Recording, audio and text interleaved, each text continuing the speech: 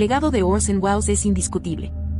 Las escuelas y las críticas cinematográficas así como los amantes de este arte concuerdan que su obra Ken alberga las más variadas técnicas cinematográficas.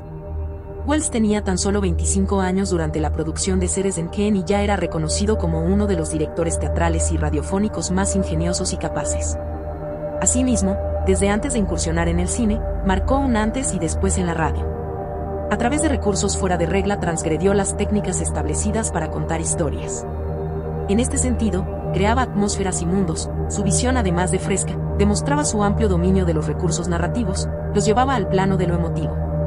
El 30 de octubre de 1938, Orson Welles demostró el poder de comunicación de la radio a través de la cadena Columbia Broadcasting System, CBS, ante el público estadounidense que escuchó por 40 minutos el relato de la invasión marciana La Guerra de los Mundos, novela escrita por H.G. Wells y publicada por primera vez en 1898, y la creatividad para producir un ambiente sonoro que provocó una reacción masiva a un suceso que no aconteció en la realidad. La narración de Orson Welles comenzó con las primeras líneas de la novela La Guerra de los Mundos, pero adaptada al año de 1938. know now that in the early years of the 20th century, this world was being watched closely by intelligences greater than man's, and yet as mortal as his own.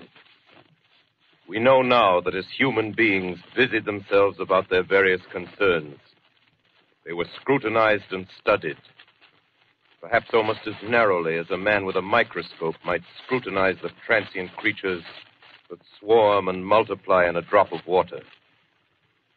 With infinite complacence, people went to and fro over the earth about their little affairs, serene in the assurance of their dominion over this small, spinning fragment of solar driftwood, which by chance or design man has inherited out of the dark mystery of time and space.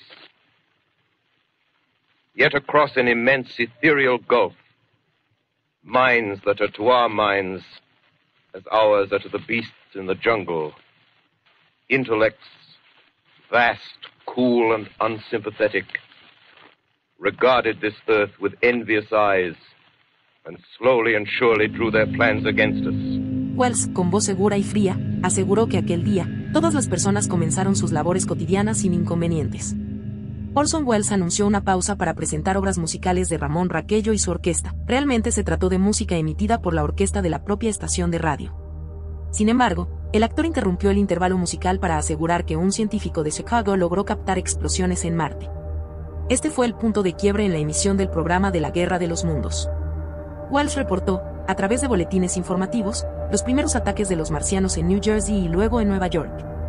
A pesar de que el director inició esta crónica con el siguiente mensaje, el falso ataque de los marcianos había comenzado en Nueva Jersey, el actor logró convencer al público de que lo narrado realmente estaba ocurriendo.